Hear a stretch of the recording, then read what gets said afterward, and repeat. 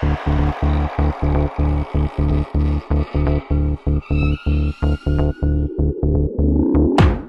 la SB tiene 500 alumnos y ya el año que viene vamos a hacer 100 más, por lo que uno recibe del barrio y de la primaria se suman 100, 120 por año. Y básicamente necesitamos es un espacio propio, porque compartimos desde el 2005 con primaria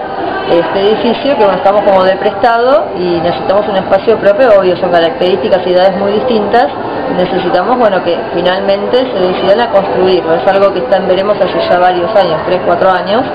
que nos vienen diciendo que está aprobado el proyecto, está todo bien, pero necesitamos que se efectivice. Así que sería importante que bueno, se efectivice ya sea en un terreno dentro de la misma primaria o enfrente en algún lado, pero bueno, que realmente se efectivice, porque el 2012 no tenemos realmente dónde continuar sexto, ya estamos a ese nivel. Ni primaria ni secundaria cuenta con espacios eh, adecuados ni suficientes de crecimiento vegetativo. Solo a nivel de que lo que se sabe a nivel de La Plata es que el proyecto está todo aprobado, que son modificaciones menores las que habría que darle y faltaría que se cierre esa instancia para que se pueda hacer la licitación y hacer efectiva la construcción.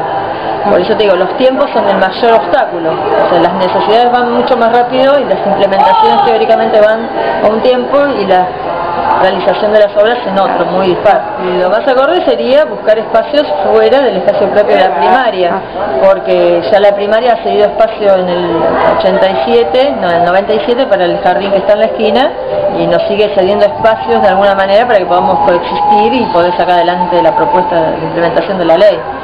Lo importante sería que en el barrio, habiendo algún espacio disponible, se utilizará ese, no mismo espacio donde ya se hicieron dos instituciones.